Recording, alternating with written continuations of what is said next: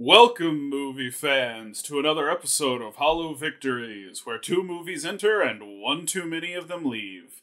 I'm your host, Matt Presents, joined as always by my lovely co host. Hello, I'm Babe. Don't you dare fucking call me that, though. Babe the Pig? Ba- yeah, that's my favorite movie, so I just named my entire channel after that. Babe fan 489. I'm also I also go by Makal. Anyways, got a lovely lovely pair up today. Uh, yeah, it's uh, 90s comic book girls and the post apocalypse. I mean, 90s movies, I guess. I don't know when these comics came out. I think Tank Girl started in the late 80s. I could not tell you when Barb Wire was published. But both of these movies are from the 90s. They're both based on comic books, and they're both women in the post apocalypse. yep.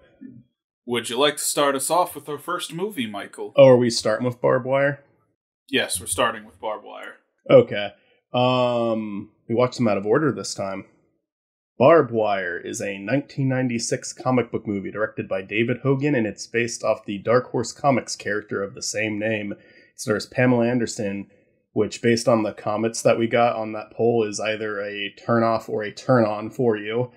Um, she did win a Razzie for this movie. Uh, for the people who said it was a big Got it. turn off. Uh, not as worst actress, but as the like as a new star. Like she was new to the scene with this movie, so re- really trying to crush Pamela Anderson- Anderson's heart with that award. God, uh, don't don't let me get on my soapbox about the Razzies. Although Pamela Anderson's tits were nominated for worst screen couple, which I gotta say I disagree with. They were the best part of the movie.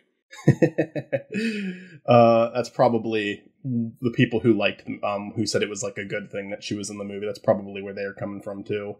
Uh, it essentially takes the beloved classic Casablanca and tries to modernize it for a lack of a better term. Instead of taking place in a foreign country, it takes place in the United States during.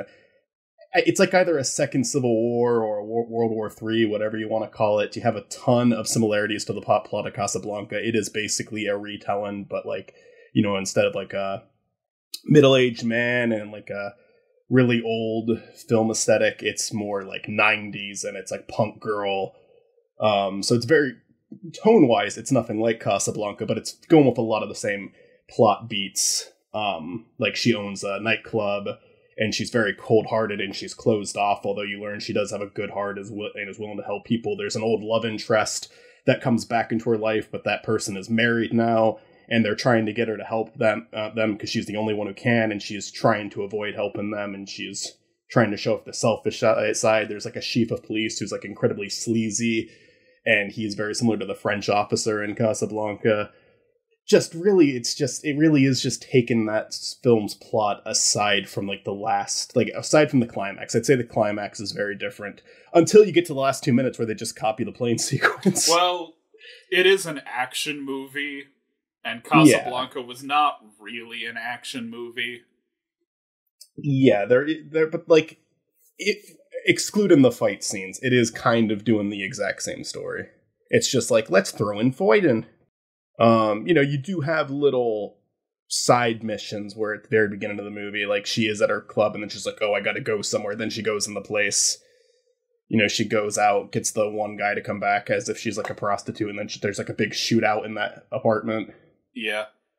As far as uh, bizarre translations of Casablanca, gotta say it's better than Food Fight. It's much better than Food Fight. And I never saw Barb Wire before Food um, before Casablanca. I did watch Casablanca and Barb Wire on the same day, and I saw Food Fight, at least most of it, before fucking Casablanca, which is a shame. Uh, I think I saw it before I saw Casablanca too, so you're not alone Yeah. in that. I have a hard time getting into old cinema, but uh, just off just because it's uh you know because it's this movie is very clearly taken a lot from that movie. I will say I, I think it was fucking outstanding. Casablanca. I have a hard time getting into older movies like that. Uh, but uh, that is definitely as good as people build it up to be. I really really enjoyed it, and then watching Barb Wire was uh less enjoyable for me. But I feel like me and you this time around have a different opinions on the movies we're talking about. Um, Maybe. Uh, I.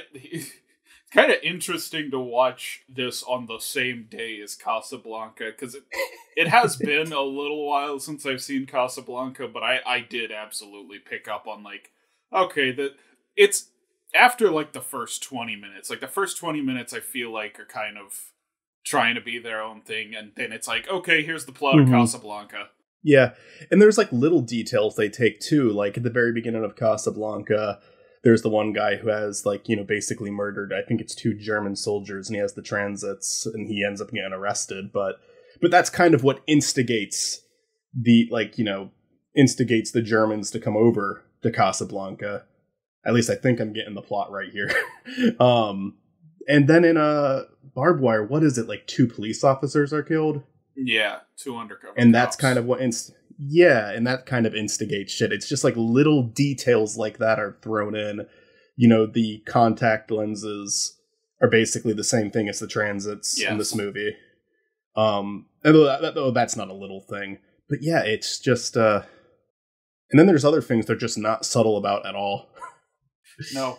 Like when when Barbara and her ex lover kind of rekindled, like it's like one minute of not liking each other, then one minute of making out on the elevator, while Casablanca has that go throughout the entire movie to you know properly build it up.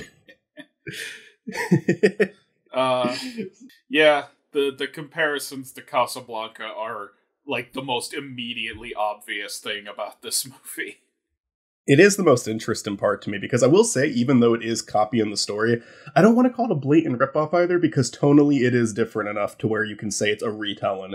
It, it'd be like saying, like, you know, Lion King is a ripoff of Hamlet, where I feel like, no, it's changing up enough and it tonally it's different enough. I don't think Lion King has like anything to fucking common or Macbeth. It's Macbeth that people compare it to. I don't see it. I don't know what people are talking about. It's nothing like People, No, not Macbeth. No, yeah, you're right. It was Hamlet. I, Yeah. I'm getting my Shakespeare plays confused. It's nothing like Hamlet. Like the only Yeah, it similarity it has to Hamlet is like the dead father coming back as a ghost. uh, if you want to say that, then compare it to the sequel, then, because Lion King 2 does Romeo and Juliet. Okay, yeah. But everyone does Romeo and Juliet. Romeo and Juliet's a really obvious story to retell. Even if you even if you want to say that you don't think it's anything like Hamlet, the people who made the sequel and the behind the scenes literally said, uh, "Yeah, the first one was based off of Hamlet, so we wanted to make the sequel based off their um, Shakespeare's second most famous story." Uh, and it's like, yeah, they were definitely trying to be like Hamlet. Um, I don't I don't think it's as similar as people make it out to be. But that's a discussion for another day. Um, yes, Barb Wire, very similar to Casablanca. Uh, but yeah, more so, I would say. yeah, uh, definitely tonally different. It's very noiry. Like it's it's Mhm. shot like a noir film, which is kind of odd because Casablanca is not really noir. Although it it stars Humphrey Bogart, who was sort of the noir king. Yeah, So he had a perfect voice for that. yeah, I, I kind of get why they're they're going for a noirish look to this. You know, like f- dystopian future noir. Um, Yeah, I think we should talk about the cast. Um, of course, stars Pamela Anderson, who is credited in the film as Pamela Anderson Lee, as this came during her very loving marriage to not controversial at all uh, Motley Crue drummer Tommy Lee. A marriage that Yeah. would last the ages and never had any problems. Ooh boy. Yeah, I, I learned about all of this last night. I knew very little about Pamela Anderson. I knew I thought she was a porn actress, but apparently um, she wasn't. She just did Playboy. Yeah, she did Playboy Um, a few times. Uh, she was mostly and- when this came out. I think she was mostly known for Baywatch. I think Baywatch started before this. Let me Yeah, verify that claim. I did a little bit Okay, of yeah, research. 89. Yeah, it did. So It did, I did a little bit of research before this, before the recording, and yeah, I saw like all the Baywatch stuff, and she was apparently in the new one too, just not as the same character. yeah, she she appeared on Baywatch. That's what she was known for before this. There's a Baywatch reference in Tank Girls, so you know some nice synergy there.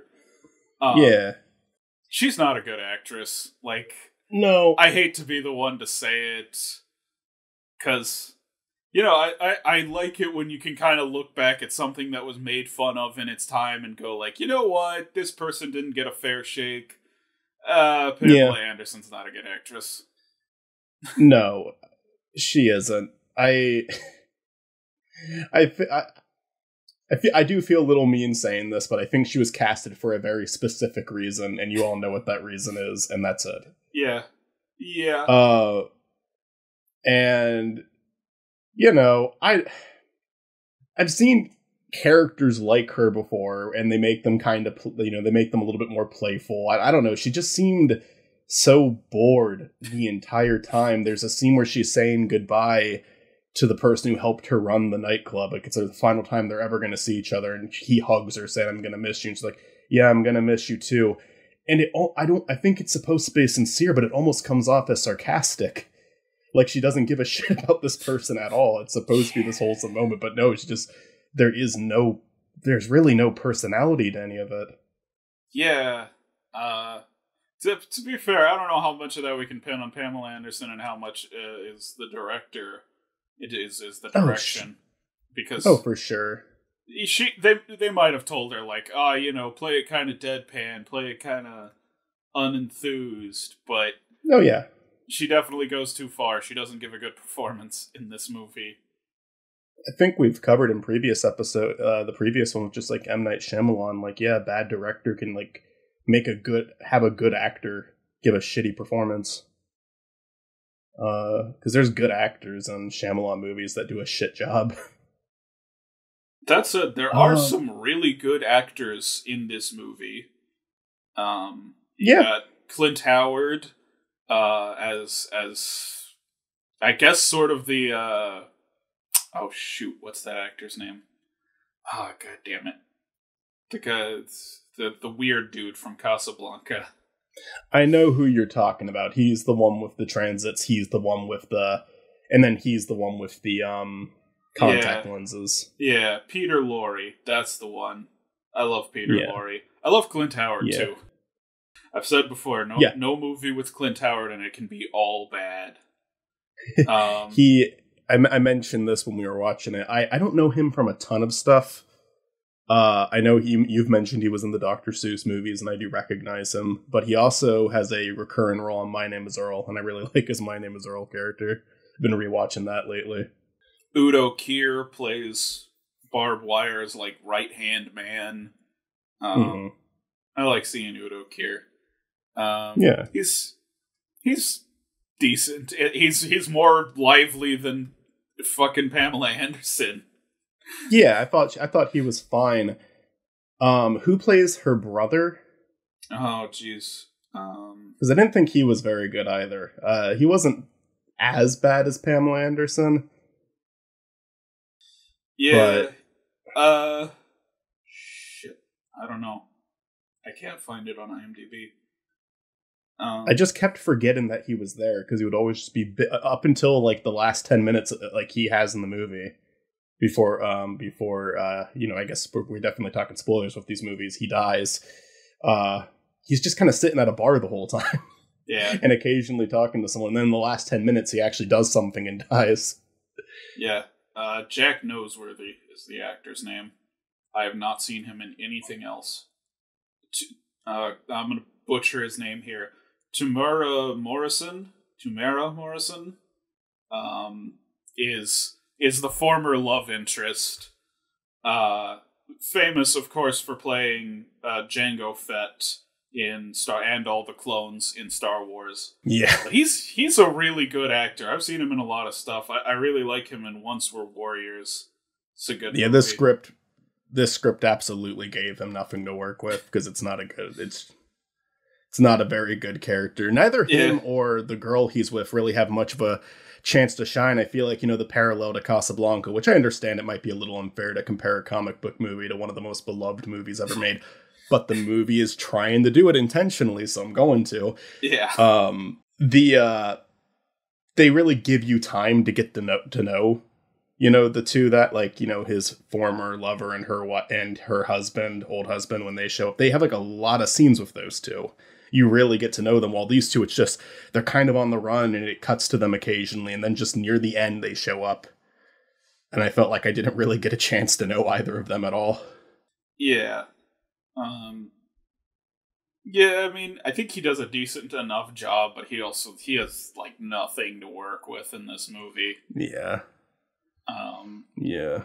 I don't blame him for that. That's mostly on the script. Yeah. I would uh, I would agree. Um I like there's one character in the movie I do like, and it's like the dumbest character in the whole film. What's the fat guy's name? Like the really fat Oh, villain? Uh Big Who plays him? Fatso. Big Yeah, Big- Fatso, played by Andre Who- Rosey Brown.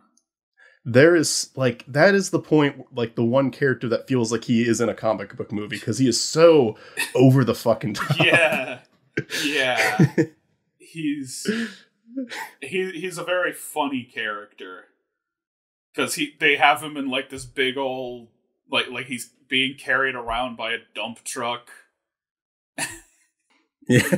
and and then of course he blows up and that's very hilarious Oh my god, that was like the one part of the movie that made me laugh like really fucking hard. Cuz it's it's paced so well too. It's like paced very comedically. like it was actually well done.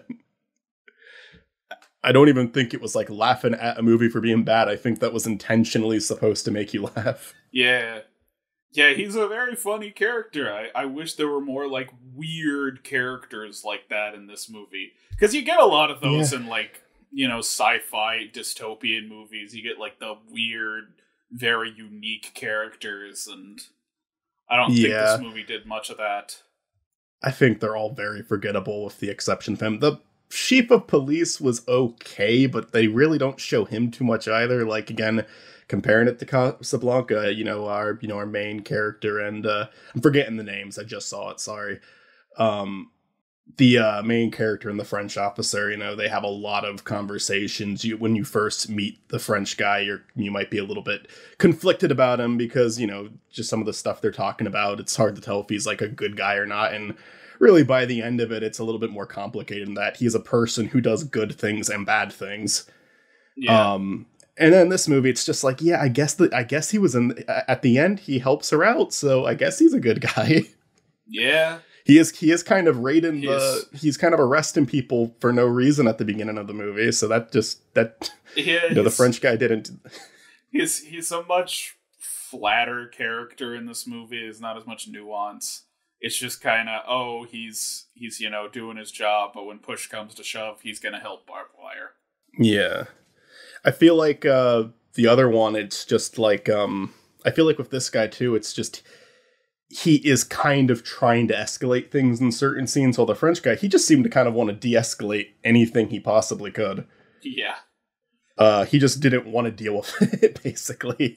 While Yeah. this guy is like stirring shit up in the first scene he's introduced. I don't know. I and you know, you- at that point you can say like, well, yeah, it is trying to do something new. It's not trying to be one. It's not a Casablanca remake entirely, but it's just like I don't know in terms of like likability. You know? I mean, like you said, it's kind of unfair to compare this to Casablanca, even though they did it to themselves, right? Yeah. They, they tried to retell the Casablanca story, but it's it's just like infinitely lamer in every way. Like it's this is a dumb action movie that just borrows the plot from one of the most famous movies ever made. Yeah, and I do feel a little bad to compare it as a result. It's just like it's like whenever I think it's now this like awkward situation with like when whenever there's a character that doesn't work, I can immediately tell you how to make the character work. Yeah, yeah, that's the problem. is like Uh, yeah. we have the good version of barbed wire, right? We Do you remember the we don't have that for every movie.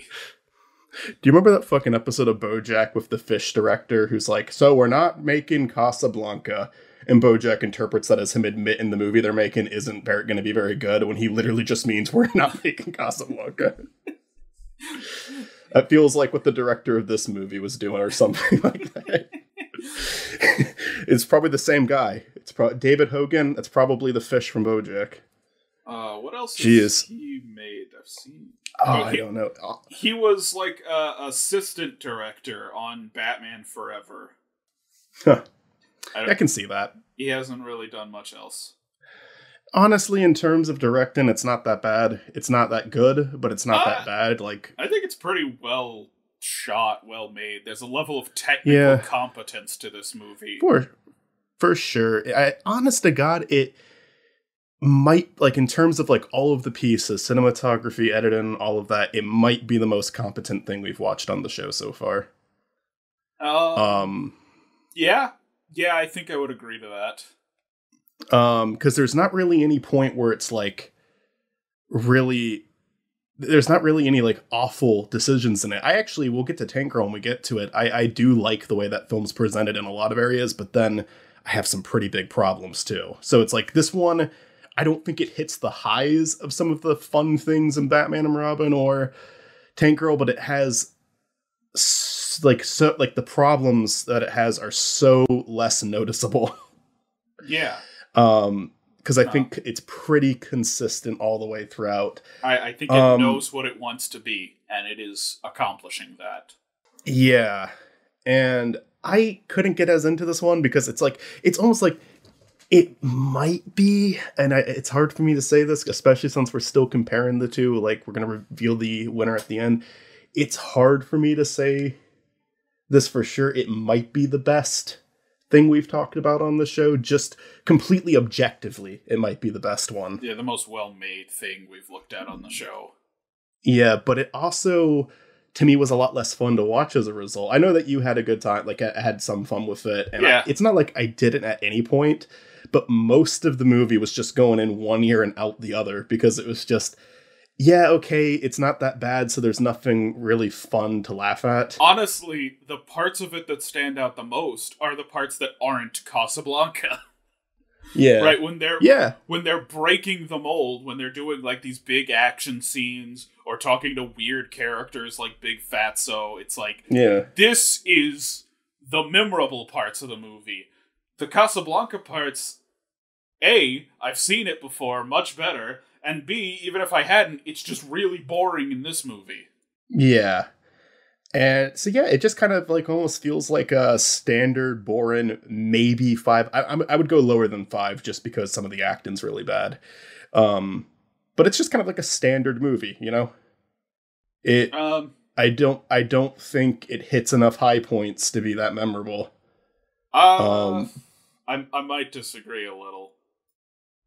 I I think it is weird enough, at least in concept, and and poor enough in some of its execution to like stand out in my mind a little.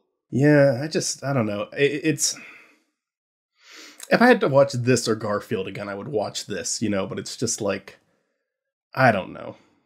I I, I feel like with Garfield and Marmaduke, there was more things to make fun of, so I had more fun watching those two. But if I had to watch one of them alone again, I might still go with Barb Wire. Honestly, fuck those two. But but yeah, it's just I yeah, I wasn't having a lot of fun watching it. I wanted to, and then there were small a few parts where I did have fun, but yeah, for the most part, I was just really bored watching it. I'm glad I got as much out of this conversation as I did because I was afraid I wasn't even going to have a lot to say about it. Uh, I I feel like there's plenty to talk about. We haven't even talked about like the big climactic action scene where the cars are made of nitroglycerin. They're like one car like rear ends another car and explodes. And yeah, that was pretty funny. a, a car and a forklift get dropped from a crane, and as soon as they hit the ground, they explode. And it's like that would not explode. It would like be smashed all to bits, but it wouldn't explode the way it does in this movie. Uh, it's just like an unnecessary amount of explosions. Yeah. it was it, it was silly because it's just like yeah, if you like literally like if you were at a fucking stoplight and, and weren't paying attention, you just like lightly tapped like rear ended one of these cars, it would fucking explode. Yeah. It, it was it was it was ridiculous. It was really silly. Uh but that's kind of fun to watch. That that that is more entertaining that way and it's also, you know, it's yeah, it's a comic book movie so they kind of want to be over the top. I wish they had gone more over the top. I wish it would have been like that throughout the whole movie instead Yeah. of just trying to be something that it's not. I definitely see where you're coming from when you say it's kind of boring. I think there are enough interesting moments to like hold my attention, but Yeah. it definitely drags a lot in places. I'm very I'm very let's just say I'm very conflicted on this one, especially since uh especially since I'm trying to figure out where I rank all of these because this one it's like I almost want to use the word objective, but then I have to remember stuff like some of the performances and it's just like or some of the writing. And it's like, can I really say it's objectively the best one? Is Batman and Robin better just for understanding what it is more and being really corny and over the top with it? Because that one was that one had some neat sets too. I don't know. Yeah, I like mean, ta- I think it it certainly makes for an interesting discussion because, yeah like I've said, I, I think from a technical standpoint, it is well made, but yeah I, I wouldn't disagree. the performances, well, okay, it some of the performances are okay. I like most Yeah. of the performances. It's Pamela Anderson is the weak link here. Yeah, I think her brother is kind of weak too. I, I didn't really like him. That mu- I know I already said that, but I, I didn't think he was that good. I, I just feel like the script didn't give him that much to do. So Yeah, yeah, it's fair. I, I won't totally blame that on him. I do have this movie on VHS. think that's Yeah. worth bringing up. I have the VHS of this, and I I also have the the Mill Creek Blu-ray, which might as well be the VHS because it has subtitles and nothing else. There's there's not even like scene selection. It is the most bare bones Blu-ray I've ever seen. the The menu doesn't even move. It's a static picture of Pamela Anderson. It is the most bare bones Blu-ray release I've ever seen. Um, uh, and, and you mentioned that the oh, go ahead. the blurb on the back of the Blu-ray Yeah, is identical to the blurb on the back of the VHS, except that's what I was gonna point out. Yeah, except between releases they changed uh, Pamela Anderson Lee back to Pamela Anderson, which uh, fair. yeah. Um, Do you have anything else to say, or do you want to move on? I don't. I don't think so. If you have anything else, go go for it, and maybe I'll have something to add on. But uh, No, I I feel like yeah, I don't know. Like I'm I'm thinking like four out of ten for this one because uh, maybe five. I don't know. It's hard. It's hard for me with this one because I didn't really like it, but I give it props because it got some stuff right. It definitely got a fair number of things right. I could understand why someone would like this movie. If someone liked it, I wouldn't like. I wouldn't think they had bad taste or anything. all right. Yeah, that's that's fair. I I definitely I think I enjoyed it more than you did. Um, Yeah. but I I won't I won't argue that it's not the best thing. Um, no, it's my favorite movie. better than Casablanca. Better than Casablanca. Casablanca fucking ripped off Food Fight anyway. Uh, as as far as like bizarre halfway Casablanca retellings, I'd rank it higher than Food Fight, but lower than uh, Woody Allen's Play It Again, Sam. I've never seen that. It's pretty good. It's about a, a cinephile who's like obsessed with Casablanca. Okay. It's interesting. So it's kind of like the human centipede too. Uh, yes, Woody Allen's The Human Centipede 2. Opposing Barb Wire. In the other corner, we have Tank Girl, based on the comics drawn by Jamie Hewlett, uh, who who did the did the art, did the animation for the Gorillaz. I'm not sure how involved he is in the songwriting because it seems like he has some songwriting credits, but he he doesn't perform any of the music at the very least. Mm-hmm. But he does do the animation for the Gorillaz, which sort of raises the question: Why wasn't this an animated movie? but we we can Money. we can uh, put a pin in that one. Uh, set in the the post apocalypse, uh, the the distant future of 2022. I mean, better than Barb Wire, which takes place in 2017. That's something we probably could have mentioned. It takes place in 2017, and there's a second civil war going on. Thanks, Trump. um, Tank Girl takes place in the distant future of 2022, uh, where it doesn't rain anymore. There, there was a big asteroid impact, and there's no more rain, and water is a in scarce supply. Um, which I would like to point out was also a big plot point in Mad Max Fury Road. So Tank Girl is kind of part of this resistance group who's stealing water from the big monopoly water and power they control all the electricity and all the water and they've been stealing water from water and power and so they get raided by water and power and tank girl gets arrested uh, spends some time in prison but she breaks out with the help of another girl jet girl. Uh, they she's jet girl steals a jet tank girl steals a tank and they uh, escape, and then you know it's a like an all out war with uh, water and power. Uh, they do kidnap uh, Tank Girl's like like a little girl that was in the commune she was living in, so they've got to rescue the little girl now. Interesting movie. Uh, I liked it. yeah, there's there's a lot of charm to it. It's a charming movie.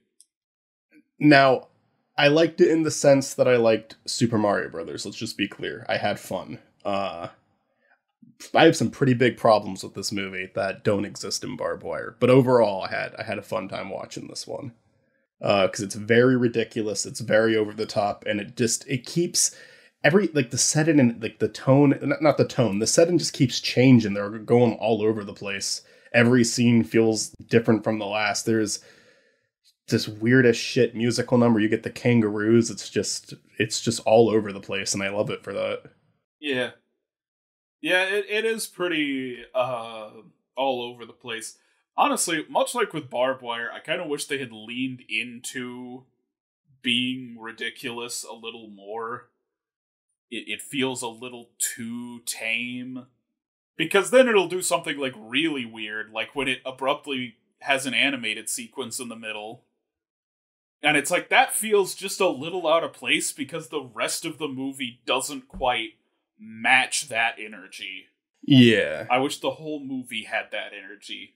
I feel like a lot of it does have maybe not that's like the most the animated stuff is the most energetic shit in the movie. Um just because it is like it, honest to god it's really fucking good animation. and it's very expressive and it's very wild um in the live action never gets quite to that but what they do with the live action there is like a lot of weirdness to it. Like i love the scene where the main villain is making the one guy walk i know it's from die hard but making him walk over glass and he does it too it's just like God. that's the kind of villain we're having just like really stupid over the top. That's i like that's another thing i think is like too weird that it doesn't match the rest of the movie because uh, malcolm mcdowell plays the villain uh, the the owner of water and power and they play they lay it on thick with his character. Like he is the most fucking evil dude. and it's he's a hologram at the end of it. And I'm they, they cast Malcolm McDowell, which like already you're you're really trying with a villain if you've cast Malcolm McDowell. He's one of those guys that just like shows up and plays super ridiculous villains. You know, yeah. him, Tim Curry, start a whole gang. Uh, but man, he's just like he's so over the top, and I think it would work if the rest of the movie were as over the top as he is. But I, I, I feel like he he sort of stands out. He's he's I don't too much for the movie. He got the scene with the kangaroos when you learn that they're praying is going on to a bowling alley and jumping around in a circle.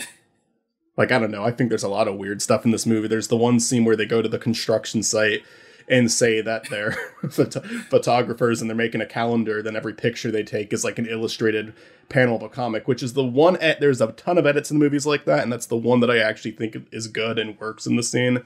Whereas uh, when we get to like the technical side, I'll have something to say about that.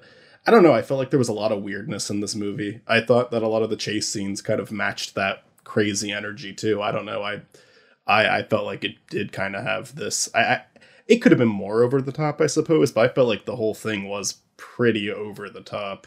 I I get it. I, I understand where you're coming from. It it is a pretty ridiculous movie. I just I think I would have liked more. You know.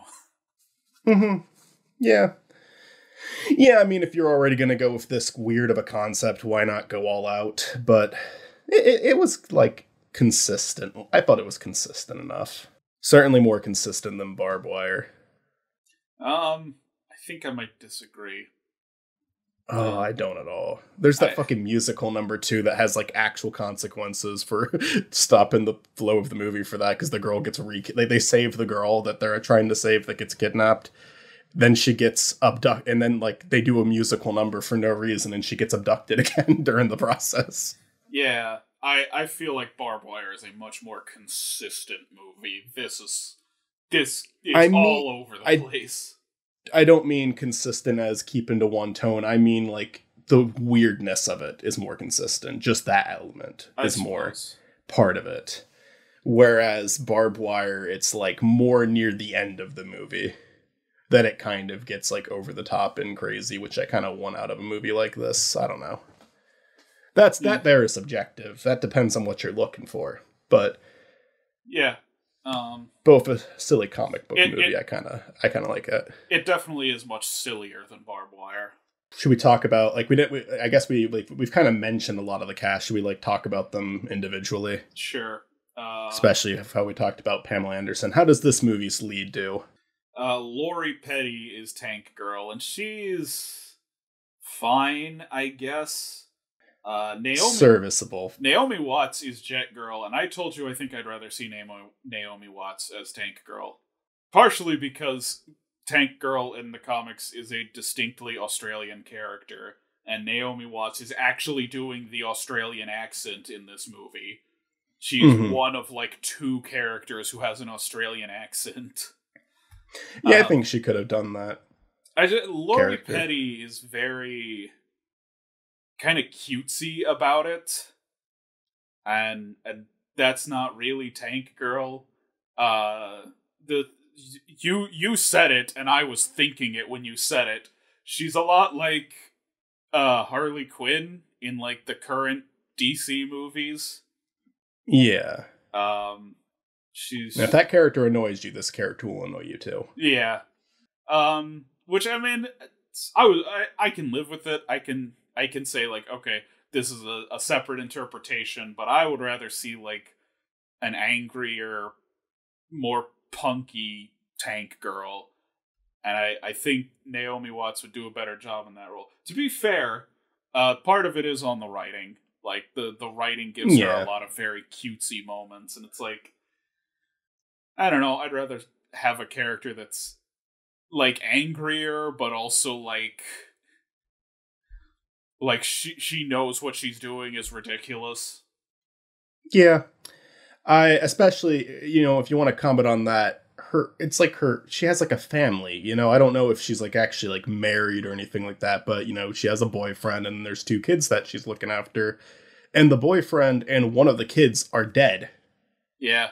You you never see them again and she doesn't seem upset about it.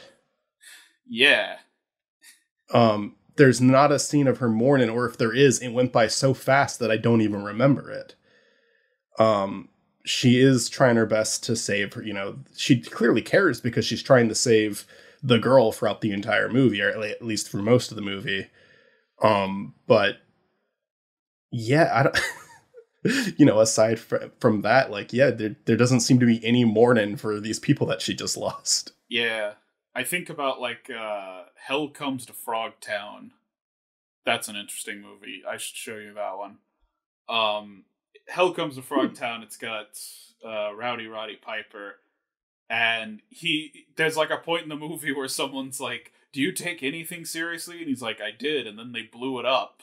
And then it's like that's the type of character that like Tank Girl should be.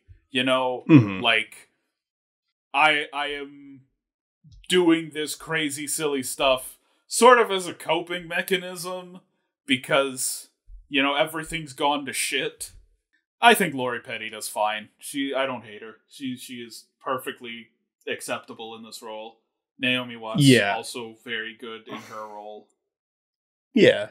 I thought I liked the kangaroo group a lot too. I love that fucking Ice T is one of them. Yeah, Ice T is one of the the kangaroos. You already said it. Villain is over the top and fun, and I don't know. I, I enjoyed him. He is Malcolm Um, McDowell. Yeah, Uh, and Iggy Pop makes a cameo in the movie. He's in like one scene. I I definitely enjoyed Tank Girl, like the character Tank Girl, more than Barb Wire, but I definitely think she's a character that's worth criticism because it's Yeah, it- I- it's, but there's a personality at least. yeah. I I definitely like her as a character far better than Barb Wire. Maybe they should have had Lori Petty in that movie too. Maybe. Um, yeah, Ice T is one of the kangaroos, and the the lead kangaroo, played by Reg E. Cathey. I really like him too. He's a very chill dude. I I like how chill the the kangaroos are. They're they're into like Taoism and Yeah. like like th- there's some joke about them not using guns because they're peaceful even right before they go fucking raid water and power and kill like Yeah. a bunch of the guys there yeah. And they try to like throw in some like decent comic relief too. Like it's not it's not that funny, but it's like there's like you know there's the scene where she's trying to have them try ha, trying to like uh, Naomi Watts character Jet Girl's trying to have them uh communicate with with the enemy and he keeps mishearing everything she's saying because it's all like terms he's never heard but heard before. yeah Um, so they're like trying to throw in some quirkiness of the characters. You know, they're trying to make it like a like you know, trying to make them funny, lovable, funny, lovable group. Um, I will say that they're maybe thrown in a little too late in the movie because there is one that dies at the end of the film, and it's supposed to be this like really you know emotional moment where they're basically their leader, like the leader member of the kangaroos, the one who's always like speaking for him. He's gone. But like you introduce them in the final act. If you want that to have an impact it might be good to introduce them yeah. much earlier. It's, it's weirdly like a tank girl origin story and i don't think tank girl is a character that really necessitates an origin story because like i've only read like the very first comics like the very oldest comics and there's no backstory in those. It's just like there's a girl in the post-apocalypse who has a tank. That's the plot. I think uh, we we might be a little overdue for another Tank Girl movie. I think now is like the perfect time to make a new Tank Girl movie. Yeah I, I would honest to god after watching this i'd definitely watch another tank girl movie. Because I think, it's uh it's it's kind of a fun little world they have with it. Yeah, and I think with movies like uh, Deadpool and the Suicide Squad, and and maybe a little more to the point movies like Psycho Goreman that are just about these like irredeemably irresponsible characters just running around committing violence. And uh, that's that's what I want out of a Tank Girl movie. I want something like Deadpool or the Suicide Squad.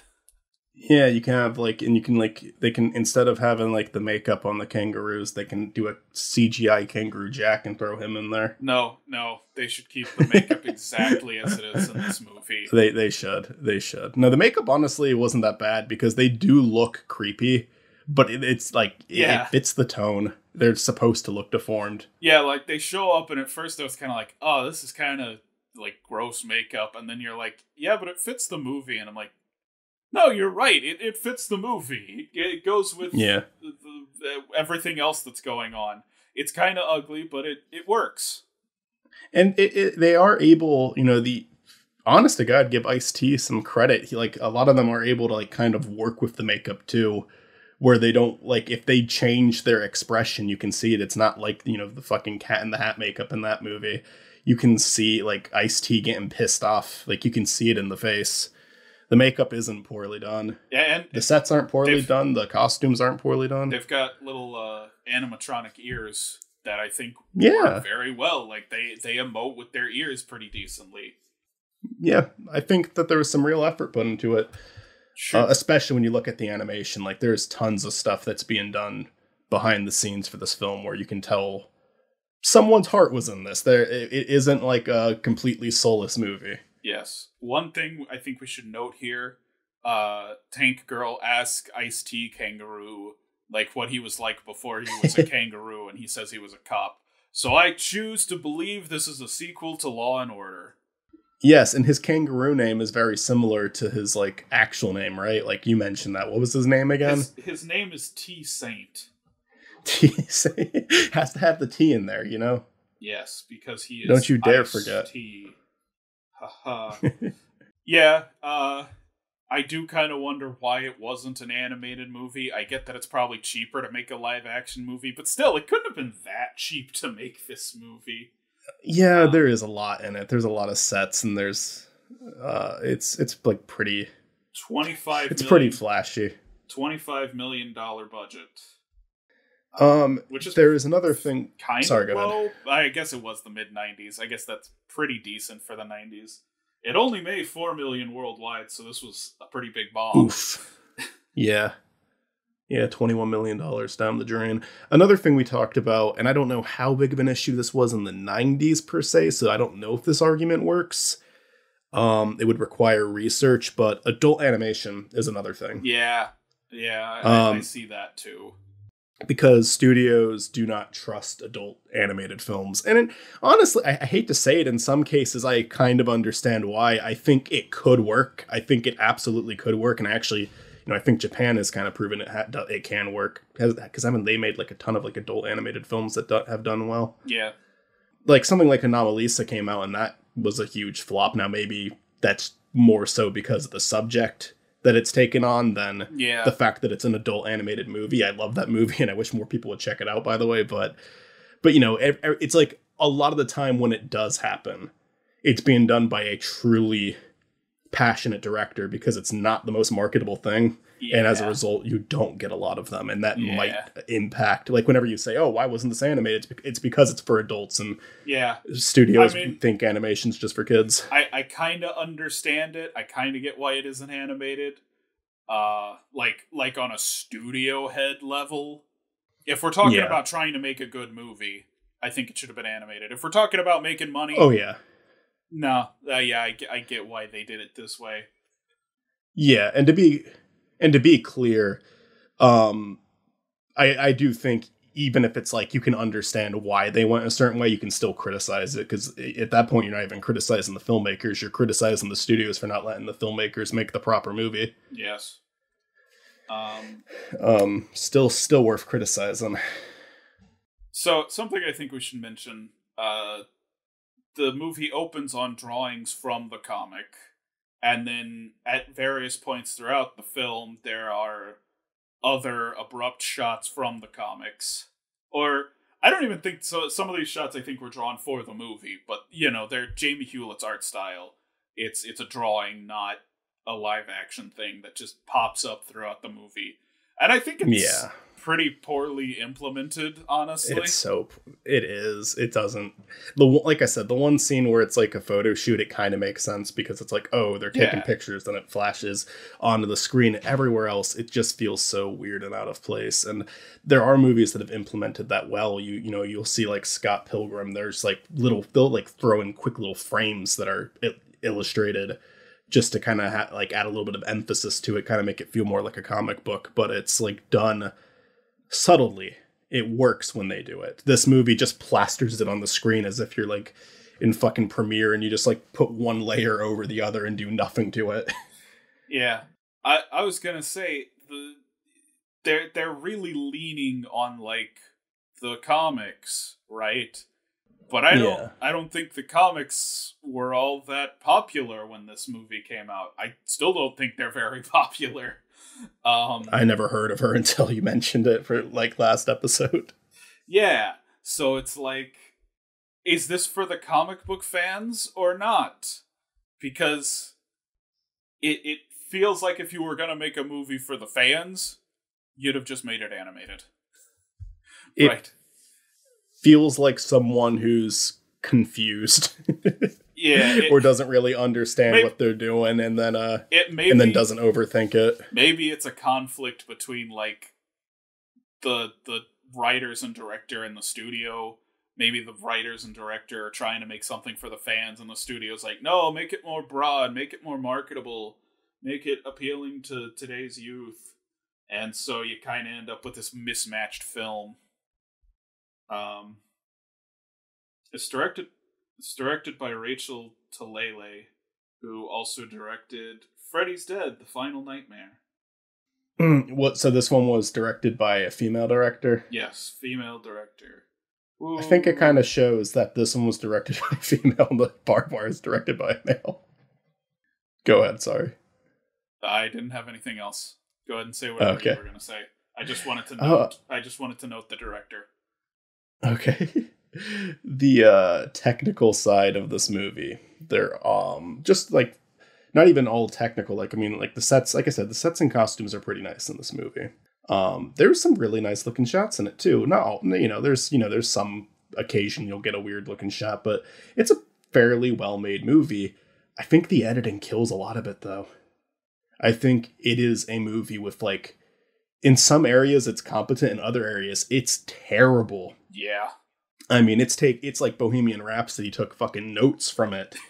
It it's horrible Okay. sometimes. But but some of the things that like pass in this high energy weird ass comic book movie don't work in Bohemian Rhapsody.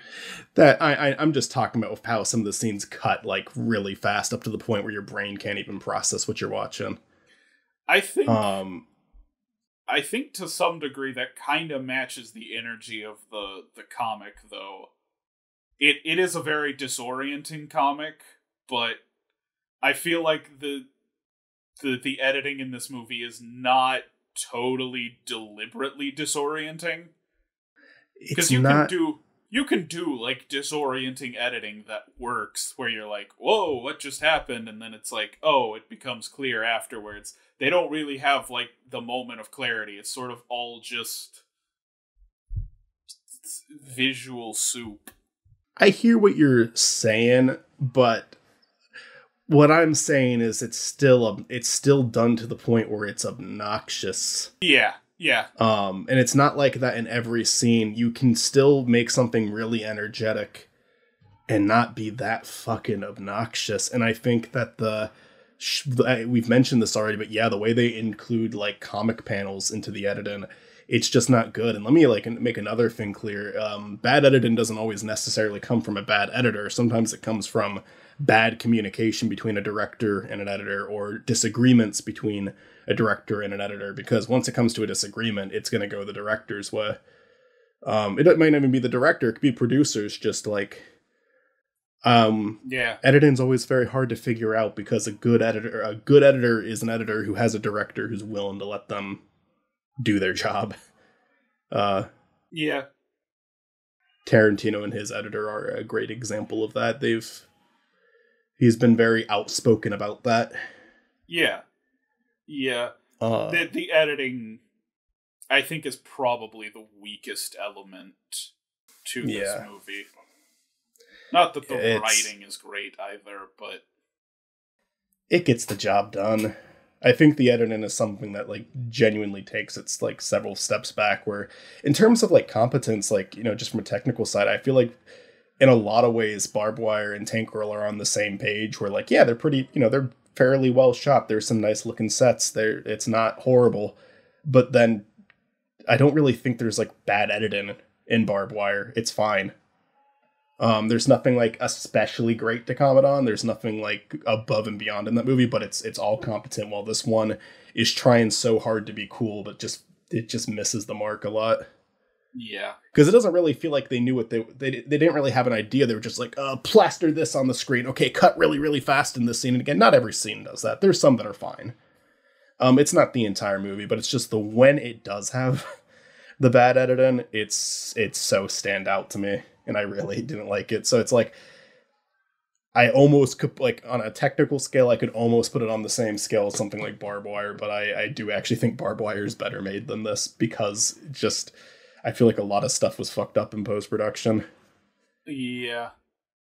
Um I I think the thing I will give Barb Wire much more than I will give Tank Girl. I think Barb Wire knows what it wants to be and it is that. I think Tank Girl is a little all over the place both in terms yeah. of like tone and story and in terms of like what it wants to be like I, I don't think it commits quite as well to any specific idea yeah but it just wants to be a fun adventure movie and but it's also nice to have like a theme to go with that adventure you know yeah have a purpose. And this one's just kind of like uh, throw a bunch of fun shit in. And to be fair, I had a good time with it, but that's why I'm saying it's like enjoyment on a Super Mario Brothers movie level because really at the end of the day, what does it all build up to? And that's not really anything. yeah. Yeah. Uh I I think we've reached the portion of the evening where we have to make a decision. You have anything else to yeah. say about Tank Girl? Um, not. Uh, I think I think I got everything. Um, I I like it, but it's it's very flawed. Yeah, that's a very fair analysis of this movie. I'll let you vote first. I had a really hard time with this one. I, I seriously was going back and forth because I want there to be a difference between my own personal enjoyment and what is objectively better. I think I am gonna go with Tank Girl still, just because I can't sit down and say that I liked Barb Wire. I really can't. I can say that I liked Tank Girl. Um, if there was zero, like, if the production value of Tank Girl, like, if it, there was just nothing there at all, if it was like all poorly done, then even if I enjoyed the writing more, even if I enjoyed the performances more, I would give it to Barb Wire. Um, but I, I still think that it gets enough right. You get some cool animation, you got some cool shots um, I just, as a whole, I like it more. Um, I think that objectively, Barb Wire does some stuff better, but I think that this one is a lot more fun to watch, and it's not so poorly made that I I think it, it's not it, like Barb Wire isn't is not so much better made than it that I think that it has like such a higher place up. I think it's pretty even, but I like but I had more fun with Tank Girl, so I'm giving it to Tank Girl. I don't know, that was a whole tangent, but it was hard. It was hard for me to pick. I, it was actually really close this time. Uh, yeah, I agree. I think this one is pretty close. Um, I'm also going Tank Girl. So, ooh, I I just I I think I liked Barb Wire more than you did, but at the same time, Tank Girl is just it's a more entertaining movie, and and it's not like there's anything on the technical side that makes me not like it as much as Barb Wire. Like like it's it's not so shitty that I'm like, okay, Barb Wire is obviously a better made film. Let's give it to barbed mm. wire. Yeah. And it's it's unanimous once again because the the public has also voted for Tank Girl. Uh, Neat. Again, not a very close matchup. That's it's weird that to, it, it's weird to me that the closest one has been Dragon Ball Evolution versus Last Airbender because I think Dragon Ball Evolution is just like very obviously better. but I, I I think it I think you got Dragon Ball fans and Avatar fans in the mix then. That's the only thing that makes sense to me because if I was a Dragon Ball fan, I might hate Evolution more. Uh, um, it was 86% for Tank Girl versus 14% for Barb Wire with 63 votes. Um, and and some some comments of like it, it seems like most of the people who picked Barb Wire were like, yeah, but Pamela Anderson got titties though.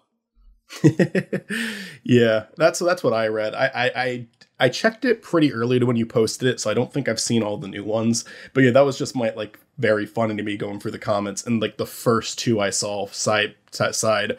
One was saying, uh, "Oh, it's got to be Barb Wire because Pamela Anderson," and then one person say, "Oh, it's got to be Tank Girl because of Pamela Anderson."